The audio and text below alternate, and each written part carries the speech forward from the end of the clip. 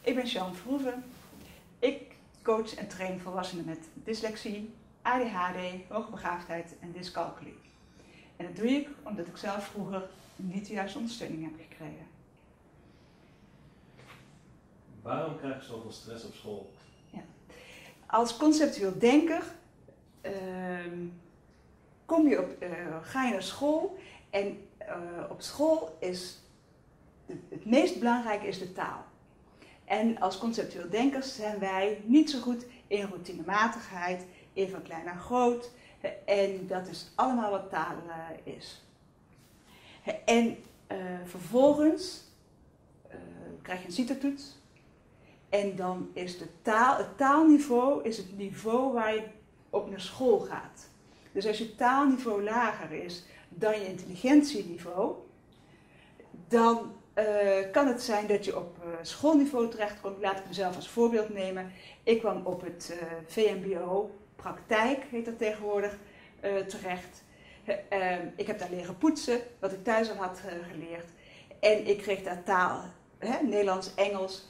En het was op een niveau ehm, wat bij me paste qua taal. Maar voor de rest mijn, kreeg mijn intelligentie kreeg ik niks nieuws te leren. Met het gevolg dat als je een conceptueel brein niks nieuws krijgt, want ons brein heeft echt nieuwe dingen nodig, dan uh, treedt de verveling op. En als de verveling optreedt, dan gaan we in beelden zitten, in die associaties zitten, dan gaan we het onszelf leuk uh, maken.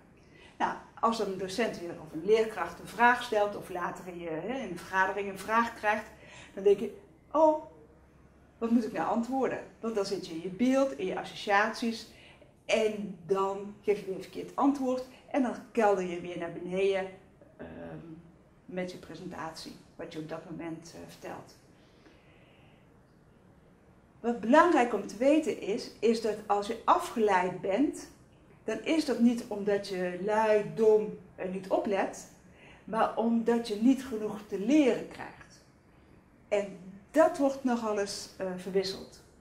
En als je niet genoeg te leren krijgt, dan kan het zijn dat je gaat verzuipen, nogmaals, in die beelden, in die associaties. En dan wordt leren heel erg moeilijk.